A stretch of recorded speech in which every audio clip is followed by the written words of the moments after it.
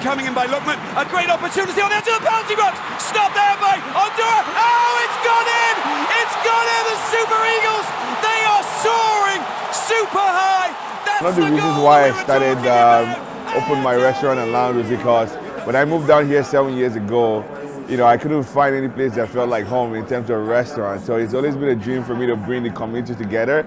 I always loved African Nations Cup, and you know, back home we always go uh, sports centers to watch this game and enjoy it and support our country. So having to bring this to Vancouver and, and see people enjoy the game and, and, and cheer Nigeria up. It's, it's, a dream come true, and I, we, we want to do more like this in the community. Yeah, I appreciate Vansuya for setting this up. I mean, I, I, I, don't know if maybe something like this has happened in the past, but this is the first time I've been to something like this where it's like you come out with your boys, you watch a football game, you drink, you eat, you catch up on work, you catch up on personal life and all that stuff. So I would say I appreciate Vansuya for setting this up. I came to Canada about 16 months ago and ever since then, I've been trying to find a place where I can actually enjoy good football, interact with my fellow Nigerians and fellow Africans.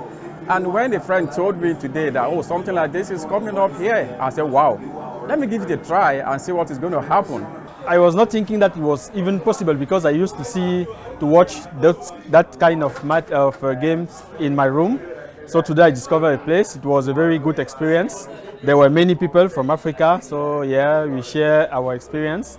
And uh, even if Cameroon lost that, that game, it is not uh, uh, what is very important. So it is a very sharing moment and very good one. Yeah. You may have a very big television in your house, but the vibe that you have watching football with these great people in this very cozy environment is nothing but a feeling of Nigeria. This is my seventh year of, of being in Canada and this is the first time I'm having this authentic Nigeria experience right here in Vancouver, right here in British Columbia. And as you can listen to, people are screaming behind me, where else can you get this vibe than Vansuya?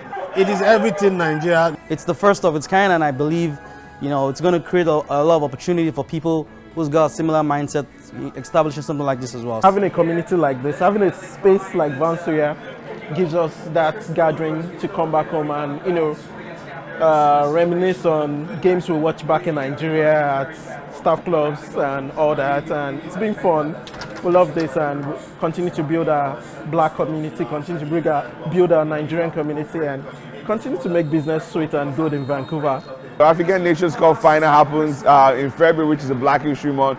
So we'll be showing the final here in celebration of Black History Month. And you know, all month we would be celebrating how amazing blacks are in, in the community through food, art, um, sports, and uh, uh, uh, uh education, and tech, and all that. And you know, hopefully we can be able to get more recognition as, as blacks in Vancouver and in North America.